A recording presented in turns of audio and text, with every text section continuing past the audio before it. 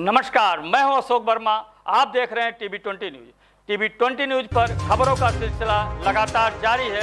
बने रहिए हमारे साथ। बड़ी खबर दिखा रहे हैं आपको लालगंज से जहाँ पर लालगंज तहसील क्षेत्र के ग्राम कटौली बुज़ुर्ग निवासी ग्रामीणों ने लालगंज उप जिला अधिकारी व तहसीलदार को ज्ञापन सौंपते हुए कहा कि ग्राम सभा कटौली बुज़ुर्ग बहलोलपुर तिरौली में स्थित गाटा संख्या 113, 114, 115 की भूमि अभिलेख में पोखरी व भीजा दर्ज है। जिस पर गाँव के ही दबंग किस्म के सलाउद्दीन व जमालुद्दीन पुत्र मुनवर द्वारा पक्का मकान बनाकर अवैध कब्जा कर लिया गया है। वहीं कुछ ग्रामीण व राशिद पुत्र सद्दाख व उच्च न्यायालय के अधिवक्ता अंजनी राय ने बताया कि इस प्रकरण की शिकायत कई बार संबंधित अधिकारियों से की गई थी। जब कोई कार्रवाई नहीं हुई तो अवैध कब्जे हटवाने का प्रकरण हाई कोर्ट तक पहुँच गया जिसमें उच्च न्यायालय ने चार माह के भीतर ग्राम बहलोलपुर तिरौली में गाटा संख्या 113, 114 व 115 में स्थित तालाब व भीटे की ज़मीन में अवैध कब्जा हटवाने का निर्देश तहसील प्रशासन को दिया और क्षतिपूर्ति अर्थदंड एक हज़ार छः सौ अस्सी रुपये लगाया था। मगर तहसील प्रशासन द्वारा अब तक कब्जे धारक से 60 गांठ बना कर लिया गया है और अवैध कब्जा हटाए ही फर्जी रिपोर्ट लगाकर माननीय उच्च न्यायालय को सौंप दिया गया है जिस पर न्यायालय द्वारा तहसीलदार को कोर्ट में तलब किया गया है। नाम आपका क्या है? हाजी सोहराब पिताजी का क्या नाम है? अब्बास अली आप ग्राम सभा कटौली बुज़ुर्ग के प्रधान हैं। सर एक एप्लीकेशन पड़ी हुई हमारे कार्यालय में। ये है तिलौरी हाँ। ठीक है गाटा संख्या एक सौ तेरह एक सौ पंद्रह एक सौ चौदह व एक सौ सोलह। राजस्व ग्राम अभिलेख में इसमें भीटा और पोखरी दर्ज है हम्म, इसमें ग्राम सभा के कुछ लोग हैं इनका नाम है सलाउद्दीन व जमालुद्दीन। पुत्रगढ़ मनोहर। आरोप यह है कि ये दोनों लोग उसमें पक्का मकान बना करके निर्माण कर दिए हैं। इस पे थोड़ा सा जानकारी दें। पहले उनकी वहाँ वो थी जो है साथ थी एक बैठका था। जी। जो उनकी अपनी ज़मीन थी। उन्होंने उस ज़मीन पे जो है उन्होंने बनवाया उसके सामने एक तालाब था। जी।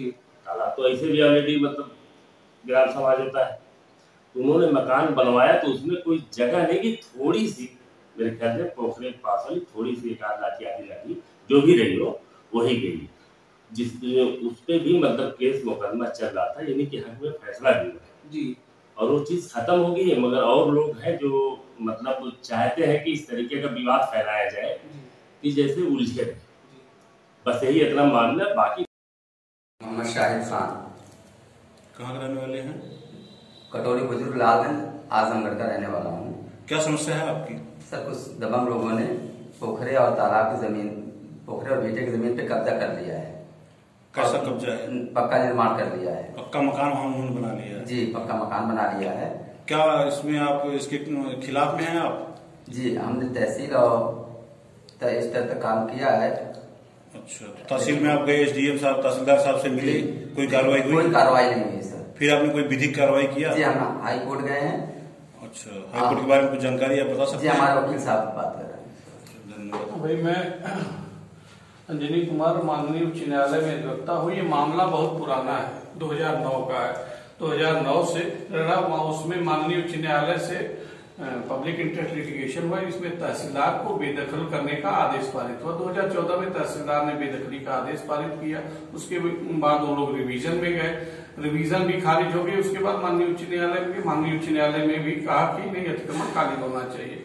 उसके बावजूद इन्होंने कोई कार्रवाई नहीं की। फिर हम जो मतलब हाई कोर्ट का जो आदेश था उसकी भी अनुपालन नहीं किया अनुपालन नहीं किया। जब हाई कोर्ट से दूसरी पिटीशन फ़ाइल हो गई इसमें चार महीने में इस अतिक्रमण को हटाया जाए तो तत्कालीन तहसीलदार ने एक फर्जी आदेश बनाया कि सारे जो आराजी नंबर हैं तालाब और बीटा पर से अतिक्रमणी का कब्जा हटा दिया गया है। मौके पर और, मौके- और जबकि मौके पर कोई एक इंच भी कब्जा नहीं हटाया गया जो जैसा 2009 में था उसी समय आज तक मतलब 2009 से अब तक कोई कार्रवाई हुई नहीं पेपरों में घोड़े दौड़ रहे कोई कार्रवाई नहीं हुई। सिर्फ़ जो है तहसील प्रशासन जो है अतिक्रमणी को बचाने का प्रयास कर रहा है। कर रहा है। अभी इसमें हाईकोर्ट की क्या स्थिति है? हाईकोर्ट की स्थिति में अवमानना याचिका फ़ाइल हुई थी। अवमानना याचिका में माननीय उच्च न्यायालय ने तहसीलदार को तलब किया था और तलब किया तो इसके बाद जो अतिक्रमणी इन्होंने एक फर्जी पिटीशन माननीय उच्च न्यायालय में फ़ाइल की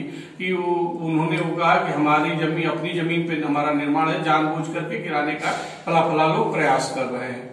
जबकि है वो ग्राम समाज है का। गाँव समाज की तालाब और बीटे की ज़मीन है मूलतः भी- ये है कि प्रशासन तहसील प्रशासन तहसील को बचाने बचाने का बचाने का प्रयास कर रहा है जो कि काफ़ी प्रभावशाली व्यक्ति है इसलिए जो है। ठीक धन्यवाद।